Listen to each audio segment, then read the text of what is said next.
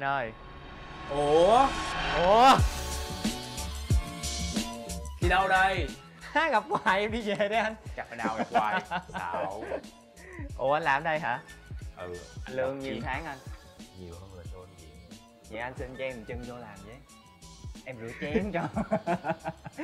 Rửa chén hả? Ừ, rửa chén rửa ly gì cũng ai được. trả tiền nổi cho em? Đây là quán bar Sri. À, ở đây là một cái phòng riêng đó. Chỉ có anh với em thôi. Em muốn anh làm nước gì em có yêu cầu. Rồi cho mượn cái menu đi. Ok. Không uống được rượu đúng không? Không uống được rượu trong đây nó sẽ có à, các thức uống và thức ăn này nó sẽ có 5 loại vị. Ừ. đố em biết đó là những loại vị gì? À, vị giác bình thường của con đúng người hả? rồi. Chua chua cay, cay mặn mặn. ngọt. Mặn là gì? Chua cay ngọt mặn. Thực À. ra là nó có 5 loại vị chính là chua cay mặn đắng và một cái vị tên là umami. Là thúi hả? Đây là umami. Umami là những loại vị mà khi mà em ăn vào nó cũng không phải chua không phải cay nó phải nó không phải đắng. Ê cái đó được sống được ăn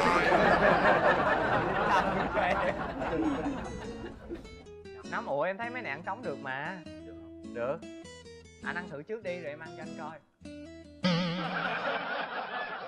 Ở quán bar này á ừ. chắc chắn là phục vụ những thức uống không có rượu. Ừ. đây. Nhiều loại đây cái này bắt đầu từ đầu menu đúng không? Đúng rồi. vậy em sẽ uống từ đầu đến cuối cái menu thức uống.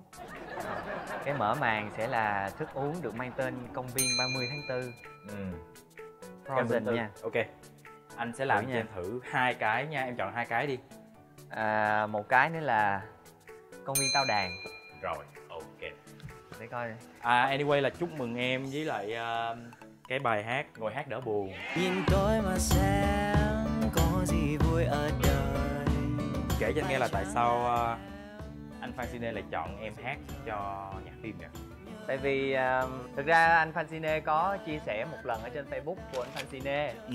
Đó là hồi đầu khi mà em ra bốn chữ lắm á thì anh Fancine vẫn thấy à, mọi thứ nó bình thường thôi. Nó ờ nó cũng dễ thương đó nhưng à, đến cái là thật bất ngờ thì mọi thứ mới bắt đầu. Tao bất ngờ cái đây mấy mấy năm rồi? Thật bất ngờ cách đây 2 năm rồi thì à, lúc em ra thật bất ngờ thì à, đạo diễn Fancine đã khá là ấn tượng. Và khi mà xem em trình diễn ở cái lễ trao giải We Joy ừ thì à, anh linh mới thấy rằng là cái thằng này nó nó quá nhiều năng lượng nó nó bị thừa năng lượng. Cho nên là anh linh nghĩ là à, chắc cái dự án sắp tới anh linh sẽ mời em vào. Theo em á thì hát nhạc phim như vậy nó có cái lợi không cái lợi gì thực ra đối với em những bài em hát trong phim nó không phải là nhạc phim. Ừ. Nó nó là kỷ niệm. Nó là hồi ức. Nó là tuổi thơ. Nó là trải nghiệm.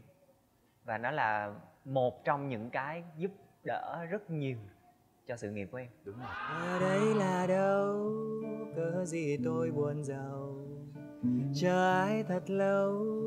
Có gì sai từ đầu chuyện đáng xảy ra là gì?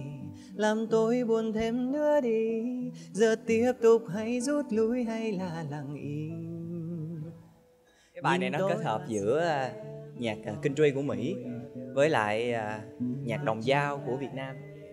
Em hai cái không liên quan gì anh thấy không? Mà kết hợp với nhau thì lại không đó là một cái hay á kết hợp cái tượng với đàn cụ Nhờ em mà tôi u sầu Nhờ em mà tôi biết đau. Chờ xem tình yêu bấy lâu sẽ đi về đâu. À ơi. À ơi à ơi chẳng biết nói gì. Thời gian trôi đi thêm làm chi Ngày mai chia ly thôi thì. À ơi à ơi ngồi hát đỡ buồn. Vì em trong tôi thương càng thương Đàn tôi đang buông tang tình tang ý à. Yeah! Dễ thương ha hồi xưa em có học biên kịch không? Hồi xưa em không học biên kịch mà hồi xưa em học mỹ thuật. Chuyên ngành thiết kế. Chuyên ngành thiết kế? Đúng rồi rồi. sao lại đi ờ, làm ờ, ca sĩ rồi cuối cùng là sao? Thì à, đến khi mà em à, em là sinh viên năm ba ừ. thì có nhiều cái biến động nó xảy ra trong cuộc sống của em lắm. Ừ. hơi ờ, hơi tự hào một tí mà mà, mà bắt buộc là phải khoe cái này. Đó là khi mà tất cả các kỳ học lúc em học mỹ thuật em đều được đạt học bổng. Giỏi vậy. Và đến khi mà sinh viên năm ba thì em bị mất học bổng. Tại sao? Tại vì ờ, có những cái môn ờ, mình không thích học mình bị bị tụt lại bởi những cái môn mà wow môn thể dục á anh. Tại vì ờ, lúc này là sinh viên á em ở gò vấp thì phải chạy tuốt lên bình thạnh học mà cái giờ mà để học thể dục nó bắt đầu lúc 8 giờ sáng. Mà em muốn có mặt ở trường lúc 8 giờ sáng là em phải đi lúc 6 giờ. Muốn đi lúc 6 giờ thì phải dậy lúc 5 giờ. Em đi xe buýt mà.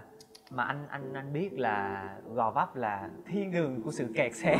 Yeah một trong những điểm cho, kẹt cho xe nên là đi nó rất là mệt nó rất là cực. Và đương nhiên thì sinh viên mỹ thuật thì đứa nào cũng phải thức khuya để làm đồ án hết. Ừ.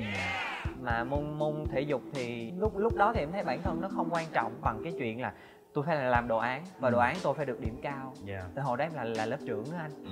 cho nên là cái em là áp- lớp trưởng cái luôn áp lực nó rất là nhiều.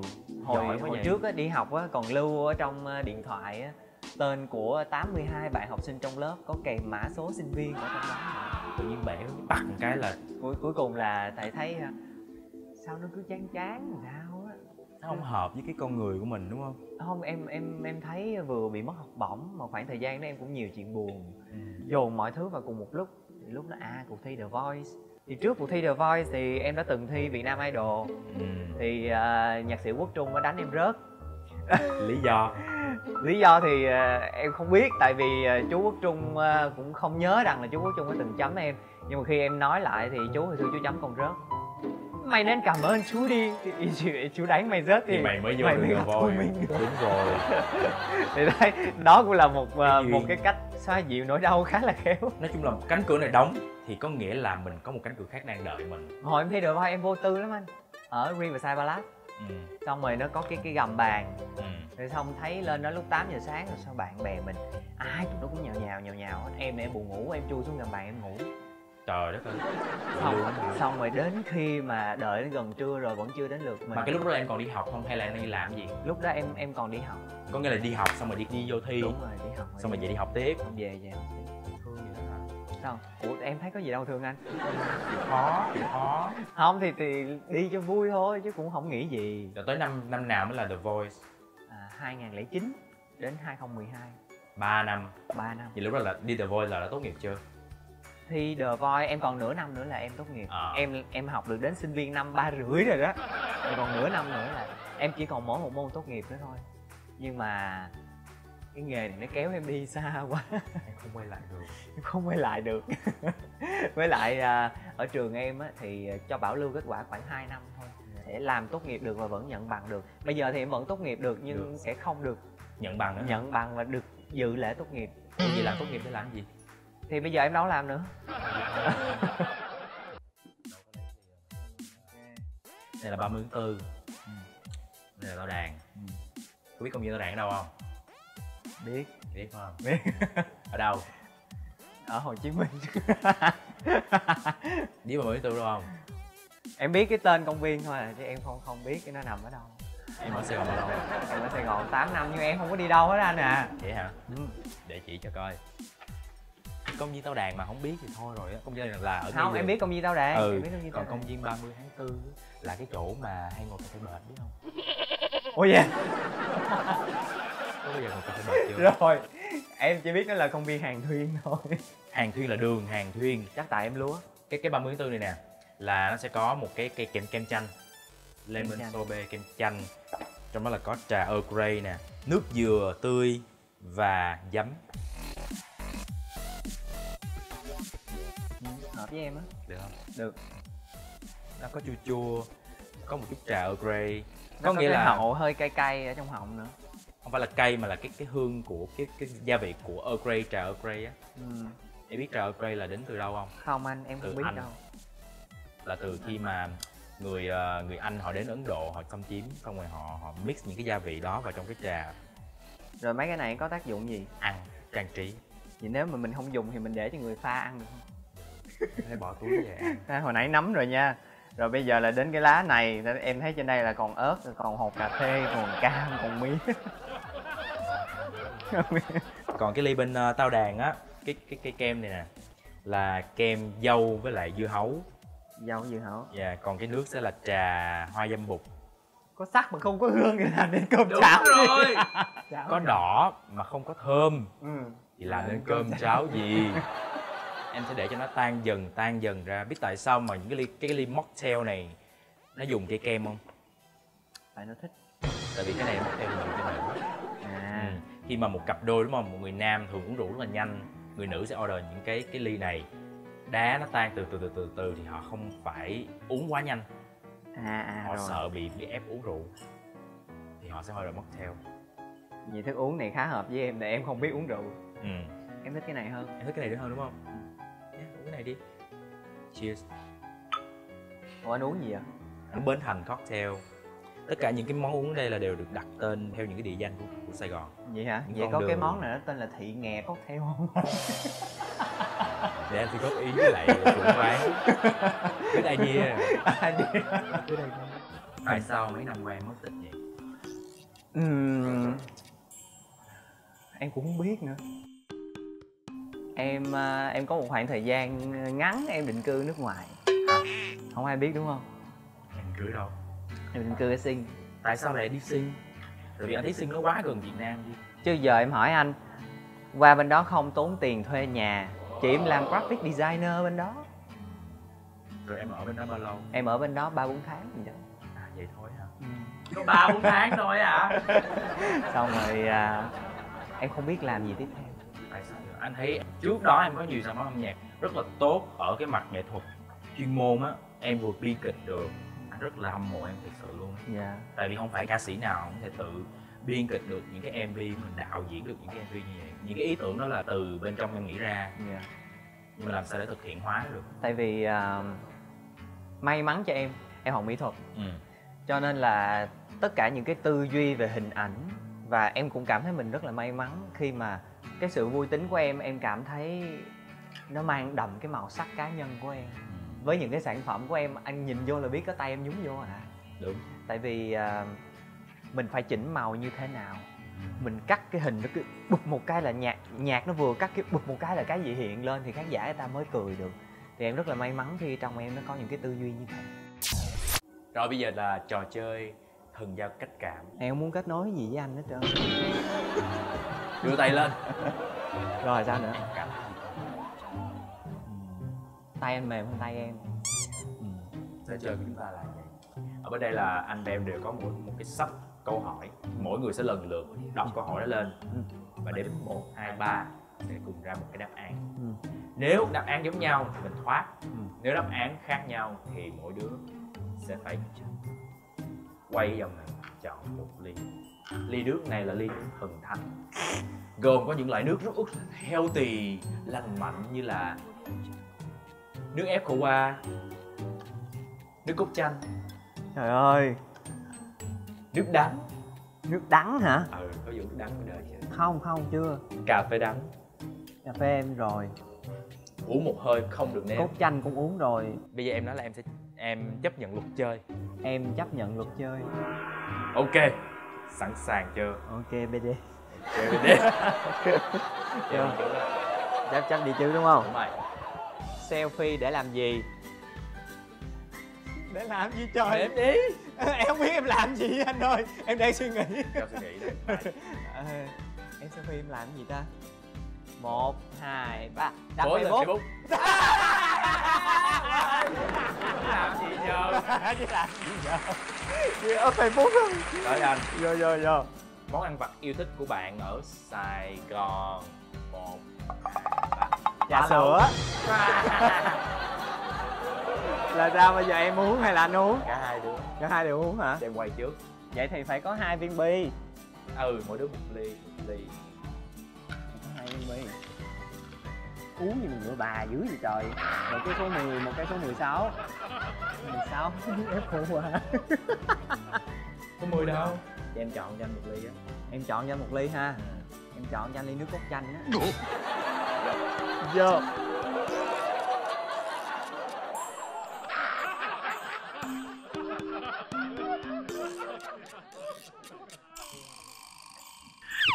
Cảm giác sao em chỉ muốn chửi tổ bà con đừng nghĩ tới cái game này thôi.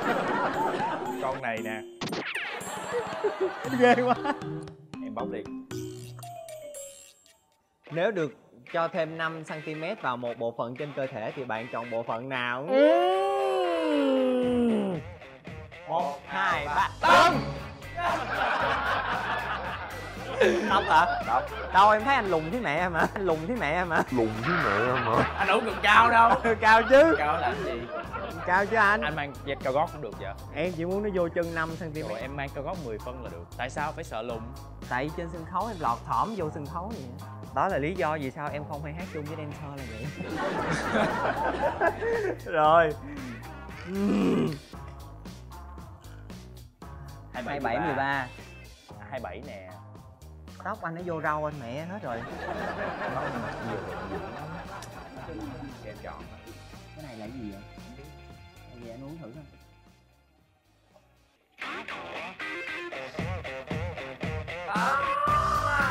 Nước đắng. Cà phê đen. Đã không? Đã. Cảm giác sao không biết heo thì không mà em đang lo cho răng mình thôi. Vô bộ phận thu hút nhất trên cơ thể của mình. Em có cái gì hấp dẫn hết rồi? Một hai. Miệng. Bụng anh là cái gì? Bụng. Anh thấy bụng anh. Bụng hả? Béo béo dễ thương. Come on baby. Cái gì? Come on baby. Open mập. it béo béo mập mập vậy nè rất là dễ thương. Dễ thương hả? Nè. Không em thấy là em chỉ muốn ói thôi. Chứ em không thấy dễ thương gì trơn quay. Sao anh không chọn gì? Nước mắm rồi này kia vô. Qua vô. Vô. Ủa nó đắng dữ vậy? Đắng đắng quá luôn á. Một dòng cuối. Cho em á. Mọi người có thói quen uống gì vào buổi sáng? Một hai ba. Cà nước. phê. Em chỉ em chỉ có nước lọc quốc tế thôi anh à. Em không biết cà phê à. Không không biết uống cà phê anh là sáng phải có một ly cà phê. Làm gì làm phải có một ly cà phê trước. Em cũng nghĩ là sẽ không có đồng điệu với anh được ở cái mảng này. Tại vì cứ cứ sáng dậy là em sẽ uống nửa lít nước. Mời em nước chanh. Đây là gì? Cà phê đúng không? Em không biết. Thử hết rồi đó.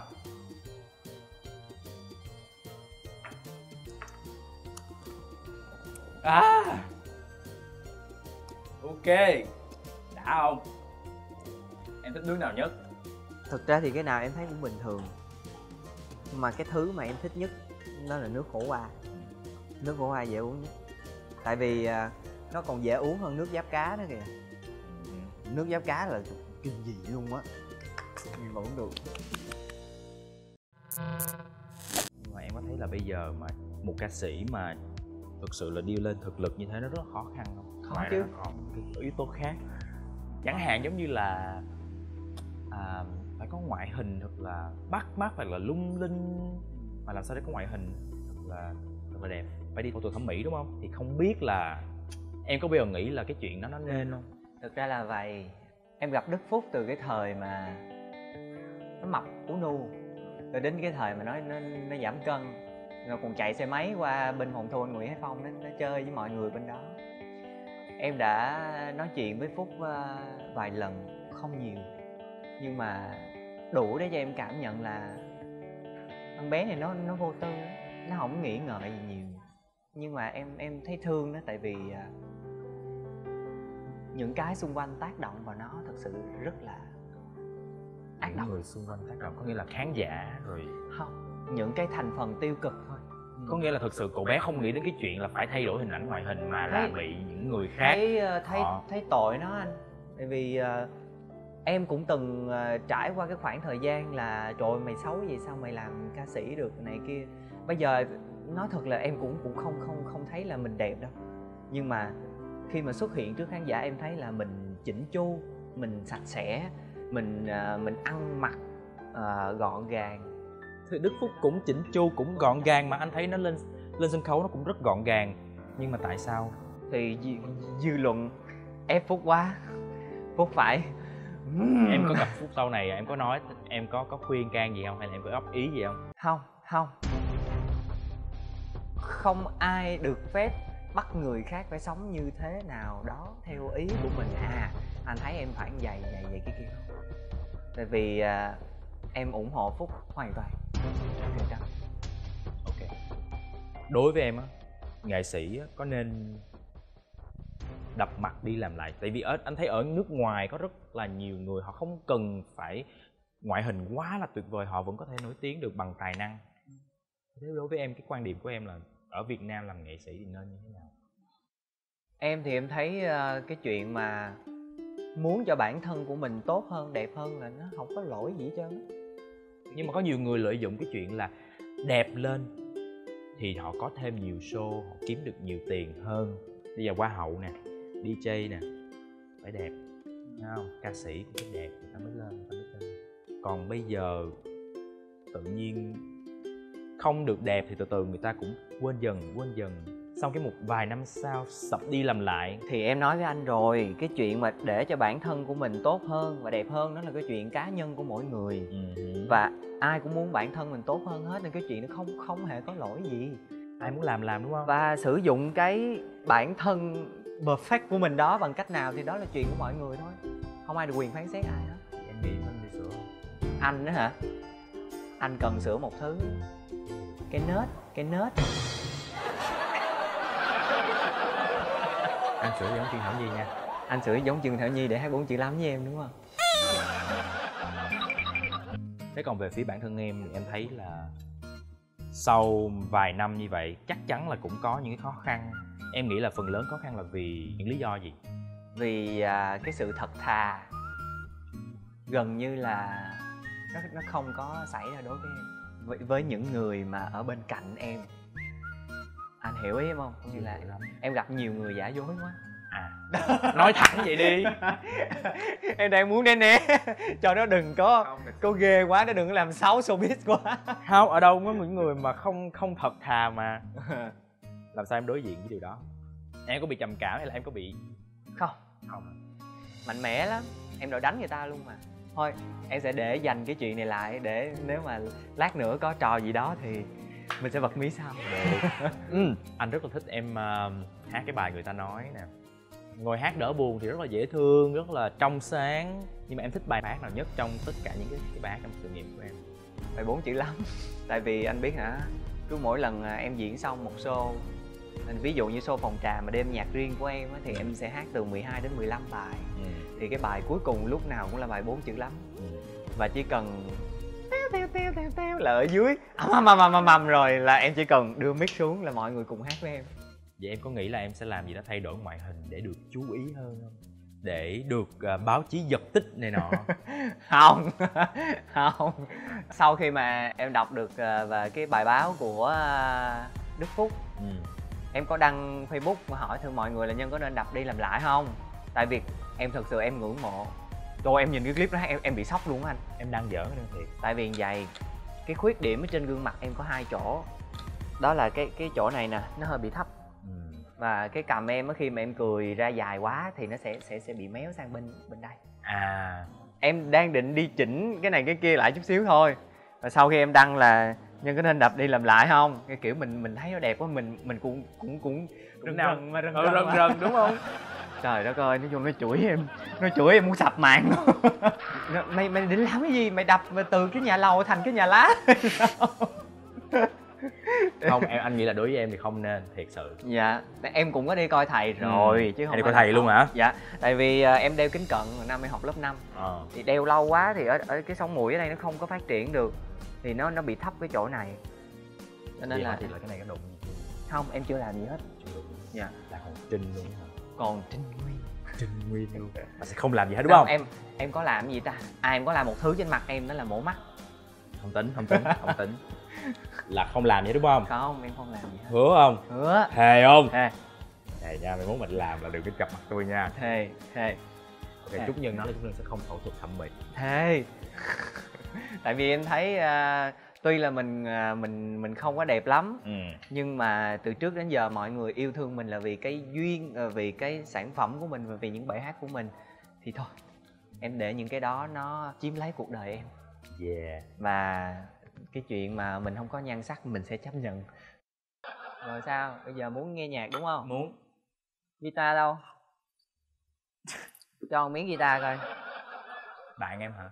Bạn em chà đánh guitar mà lên chuột dữ chắc về em tập đánh quá.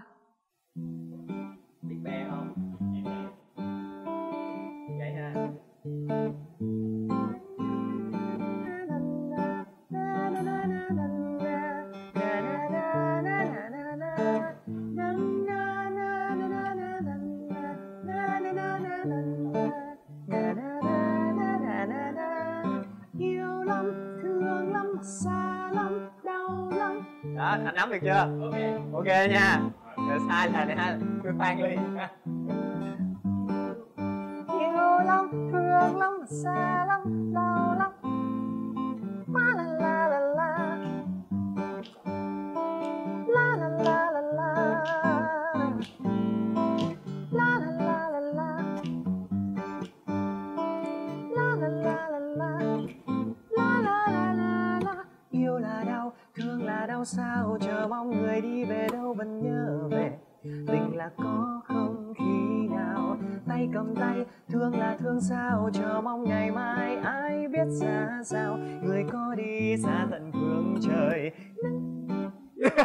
một ngày yêu thương là đời nói cho nhau một câu. Để từng ngày ta thôi còn trông ngóng trái tim thôi ngủ yên. Để từng đêm ta say triền miên, đến đêm nay ngừng trôi. Một mình anh nơi đây vẫn tha thức em.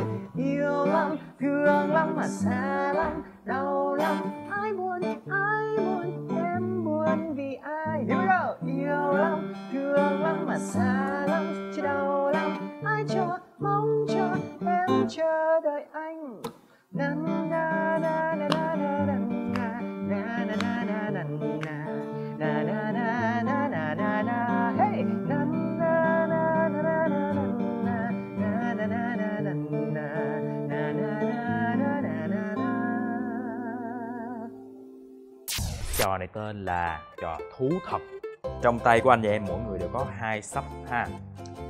à, mỗi một sắp này là tượng trưng cho những câu nói thật về bản thân mình hoặc là những câu nói xạo về bản thân mình. Ừ.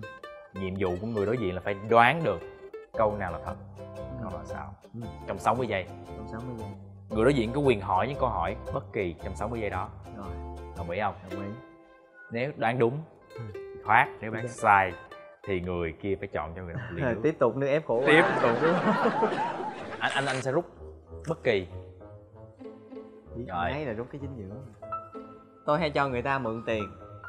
Gần đây nhất là em cho ai mượn tiền? Bao nhiêu? Em cho Ali Hoàng Dương mượn. Bao nhiêu tiền? 500 ngàn. Để làm gì? Anh ơi em hết tiền mặt rồi. Nhưng mà, mà- em cần tiền để trả tiền Uber nhưng mà cái món tiền nhiều nhất mà em cho người ta mượn là bao nhiêu? 1 tỷ hai. Trời đất ơi người ta mượn với lý do gì ba má em chứ.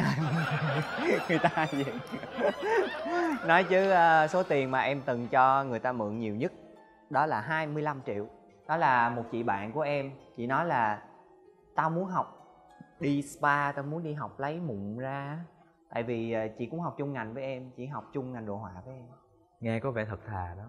Nhưng mà tại vì anh biết sao không? Khi mà sinh viên đồ họa ra trường á rất là khó kiếm việc làm. Anh nghĩ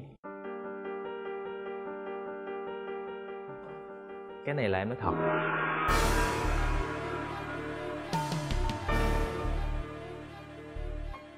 Anh sai rồi Dustin à. Trời ơi!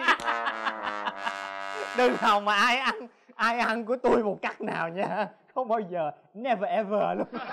Tiền thôi mà làm gì mà không em không có cho anh không cho dưới mọi hình thức. Một là cho luôn còn hai là không cho mượn. Ví dụ mấy cái tiền nhỏ nhỏ nhỏ nhỏ vài trăm ngàn này kêu ok mượn cho mày luôn á nhưng mà còn mượn tiền em số tiền lớn không bao giờ em cho. Đó cũng là lý do em đã mất rất nhiều bạn.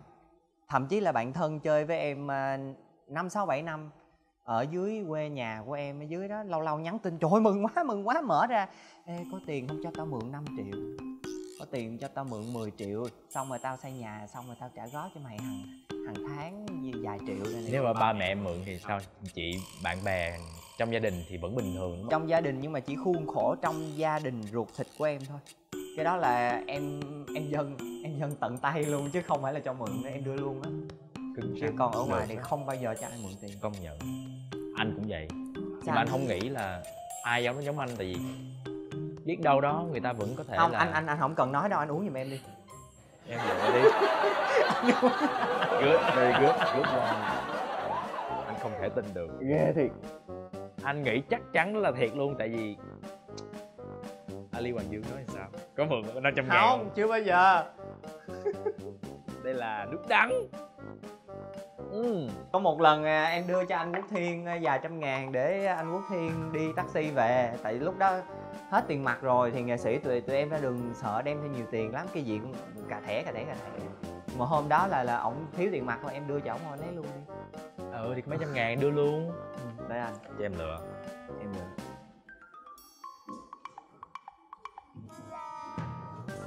tôi hay tự nói chuyện và mở mắt khi ngủ. Trong gia đình anh có ai như vậy không? Anh có có biết cái chuyện mà mở mắt khi ngủ người người, người ta gọi tên là người có có tướng số gì không? Như theo anh nghe biết là người ta nói là mấy người đó rất là khôn. Không không đó là tướng người yếu mệnh. Ngủ mà không ngủ mà không nhắm mắt thì gọi là yếu mệnh. Ở đâu ra? Người ta nói là mấy người đó rất khôn. Không cái mà khôn mà thông minh ở đây là nó thuộc về cái trán của con người nhưng mà trán anh cao ok? nói chung là anh khôn. Hói thì cũng một chút hói thôi chứ cũng không đến nỗi mà hói lọi. Cho nên nên là cũng được. Chán là chán dồ. Nhưng mà em nghĩ đối với anh thì cái cái cái cái chuyện đó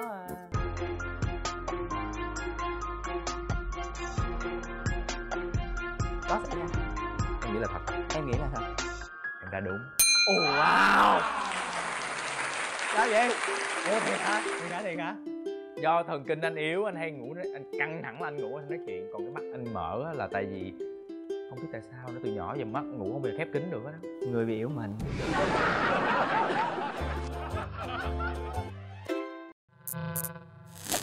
chơi tiếp đi anh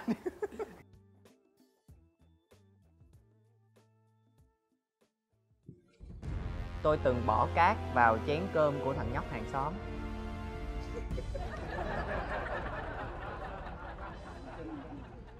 Thằng nhóc ờ, tên gì? Nhóc đó tên là thằng trung. Lúc đó là xảy ra vào lúc em mấy tuổi? Lúc đó xảy ra năm em học lớp 4 lớp 5 gì đó. Lúc đó là em đang ở đâu? Lúc đó em đang ở vũng tàu. Thằng đó nó có ăn cái chén cơm đó không? Nó có ăn. Chuyện gì đã xảy ra?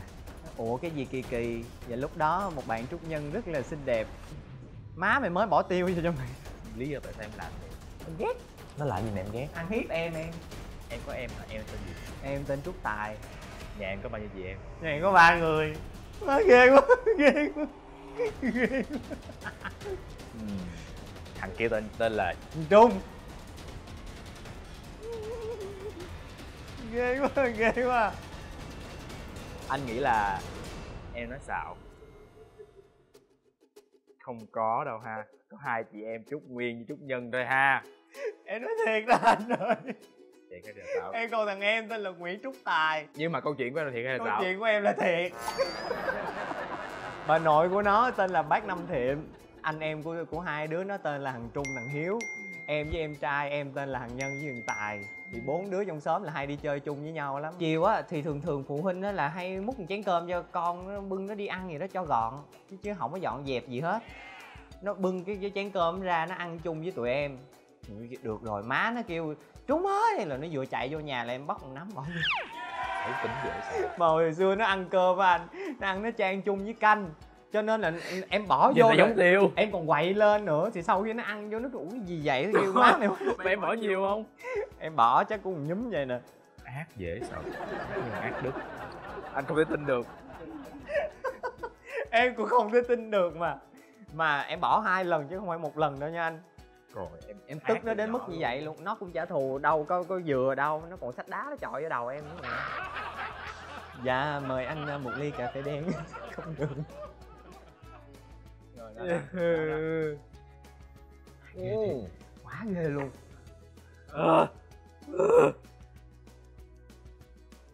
Anh đã từng đăng ký kết hôn và ly hôn sau đó một tháng anh kết hôn với đàn ông hay là đàn bà? Đàn bà. Đàn bà. Rồi sau khi anh biết anh thích đàn ông thì anh anh em nghĩ đây là một câu chuyện có thật. Không cần hỏi nhiều em nghĩ là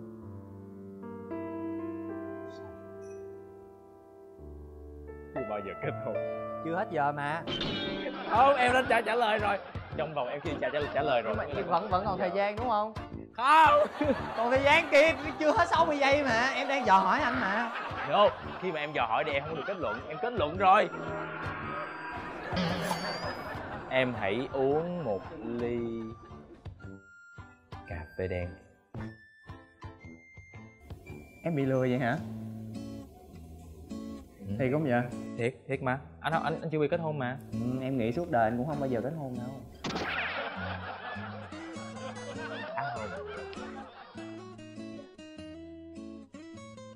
Để em.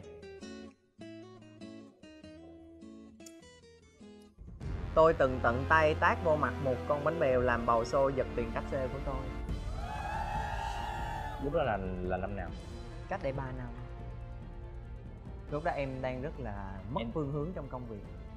Và tự nhiên có một người quá sức ngon ngọt xuất hiện trong cuộc sống của em. Ờ, chị làm này cho chị làm cái kia cho. Chương trình đó là chương trình gì? Của một cái bia ở ngoài miền Trung. Và họ họ họ mời em để mà làm à, cái gì giới thiệu sản phẩm mới cho thì sau khi mà em làm số tiền đó là bao nhiêu? 85 triệu 50 phần trăm còn lại của hợp đồng và em có lấy lại được tiền không em có lấy lại được tiền sau khi mà em làm ầm lên lại với lại cái chị giám đốc? Tại vì cái cái cái người nhân vật đó là chỉ mượn cái công ty đó trên giấy tờ để có thể ký được cái hợp đồng với em thôi. Rồi sau sau sau đó thì nó nó biến mất. Cho đến khi em kiếm được phòng trọ của nó. Anh nghĩ là xạo. Tại vì sao? Không tại vì em đã chuẩn bị một câu chuyện đằng sau đó quá dài đi. Nếu mà câu chuyện thật sự là thật á thì em không cần thiết phải bolo ba la đến như vậy. Để anh hỏi để em mới trả lời nhưng mà em đã trả lời một cách quá lành mạnh liền mạch đi. Anh nghĩ đó là xạo thật ra nó không phải xạo. Cái chuyện em kể với anh là chuyện thật. Nhưng mà đánh được vô mặt nó thì em chưa làm được. Đó là một cái ao ước đến bây giờ vẫn còn nguyên vẹn. Em đã kiếm đến tận nhà luôn rồi. Ừ. em không chấp nhận được cái cái chuyện là mình làm cái nghề này nó nó đã có những cái khổ riêng rồi mà nó là cái người mà làm cùng với cái nghề của mình mà nó đi ăn trên xương trên máu của người ta như vậy. Mà theo như em biết là không phải một mình em. Vậy luôn á hả? thì cái đợt có một cái nhóm nhạc Hàn Quốc sang Việt Nam. Nó đưa nó nó nó ầm ầm ầm ầm nó bán hết tất cả các vé rồi. Sau khi lấy được hết tiền vé rồi nó Bỏ kêu xô hủy. Rồi bây giờ đang ở đâu? Em mà gặp em nó, biết em chết. Em gặp người đó em sẽ làm gì? Em đánh nó liền á. Ai có thể nói rằng là không được đánh phụ nữ nhưng con đó không phải là phụ nữ. Đó là một con mất dạy hy vọng là em sẽ gặp lại người phụ nữ ấy. Nhưng mà đừng đánh phụ nữ. Anh chỉ mong em lấy lại được tiền thôi. Em lấy lại được rồi. À, lấy được rồi lấy lại danh ok vậy được rồi. Mà em phải kiếm lên đến tận phòng giám đốc em mới lấy được. Ừ. nước ổ qua được. Được hả? Anh đã từng có can thiệp thẩm mỹ trên mặt. Anh làm bằng cái gì? Sụng tay filler không anh không làm sụng tay không làm filler. Anh sửa chỗ nào? Hai bên cái má của anh. Tại sao anh lại sửa hai bên cái má của anh? Tại vì hai má của anh hồi nó mỏng xong anh chích vào cho nó nhỏ lại hả? Ừ, anh anh làm cho nó nhỏ lại. Em thấy cũng đâu có nhỏ đâu. Em nghĩ không không phải là nằm trên má đâu. Em nghĩ là nằm chỗ khác. Em nghĩ Sợ. em nghĩ là nằm trên mũi. Nhưng mà nó không phải là mũi. Em nghĩ anh anh có phẫu thuật thẩm mỹ. Em nghĩ là anh tự nhiên hả? Không chính xác. Nhưng mà không phải số mũi. Anh làm não hả? Anh làm gì? Thì đó như anh nói em đó. Anh làm não. Đúng sao vậy? Anh chích cho nó bớt bớt cái nọng cầm này đúng không? Ngay đây đây nè. Anh rút mỡ. Rồi anh thấy ok hơn không? Anh thấy bi chang rồi. Nhưng mà em vẫn nhìn ra. Chỉ thấy anh tiền rồi. mời anh. Ly nước chanh. À ừ. Giải khát mình chơi nốt luôn nha. Tôi từng nhìn trộm bà già hàng xóm tắm. Hồi đó là mấy tuổi? Em không nhớ. Mà làm sao mà em em lại nhìn trộm bà già? Tại vì à, lúc đó là ở bên nhà em nó có một cái ruộng rau muống. Ba em trồng. Thì cái đó nó đối diện với nhà nhà tắm của à, một cái bà già hàng xóm. Khi mà em nhìn trộm em có cảm giác gì lúc đó em em với lại khoảng à, năm sáu sáu bạn nữa nhìn. Rồi bà đó có biết không? Em không biết. Nhưng mà em thấy cái gì của bà rồi? Thì cái đít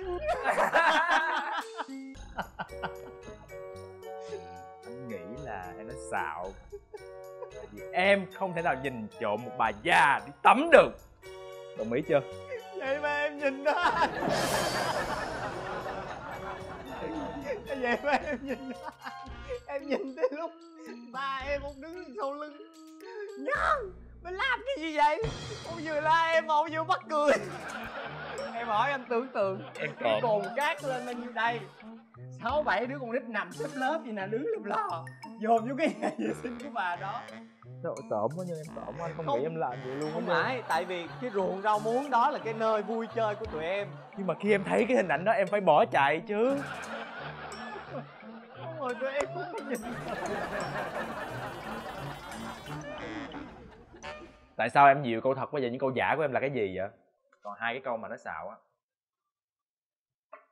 Tôi biết rất nhiều chuyện của Dustin nhưng tôi không nói ra đâu hi hi. Nghe thấy không có không có vô rồi đó xạo rồi đó. Còn câu kia. Tôi từng bị phê bình trước toàn trường năm lớp 11 cái đó thì ai mà chả bị? Chẳng lẽ không bao giờ bị? Câu này có thật. Còn anh còn cái gì? Hồi còn nhỏ mẹ tôi kể là tôi đã từng đứng tè vào ổ cắm điện và bị điện giật. Là thật. Thật đúng không tôi đã từng giả danh nhà ảo thuật. PT Magic để được miễn phí bữa ăn. Cái đó là láo hay là thật? Theo em.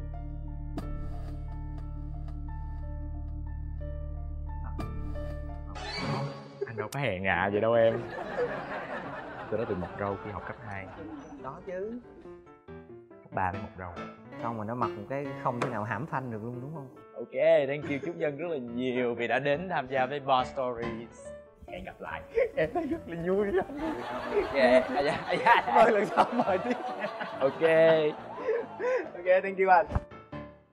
Đã rất lâu rồi Trúc Nhân mới nhận à, một cái talk show nào đó và ba story là một chương trình đã xả stress cho Trúc Nhân rất nhiều với cái khoảng thời gian làm việc rất là căng thẳng trong cái à, thời gian im lặng vừa qua của Trúc Nhân. Ờm, rất là hy vọng Trúc Nhân sẽ có nhiều dịp nữa được gặp những talk show vui vẻ và chân thành cũng như là gần gũi với nhau đến mức độ như thế này. Nếu muốn nhắn nhủ đến uh, bạn Trúc Nhân năm 18 tuổi Trúc Nhân muốn nói rằng là bạn Nhân ơi bạn Nhân hãy ờ, dữ dội hơn và nổi loạn hơn để cá tính của bạn có thể à, ung nổ sớm hơn.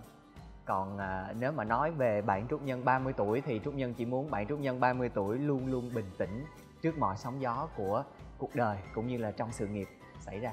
Trúc Nhân muốn nhắn nhủ đến anh ờ, Dustin ờ, vài điều. Đó là em thấy râu rau tóc của anh đủ nhiều rồi. Không cần phải thêm 5 cm vô đầu để làm gì.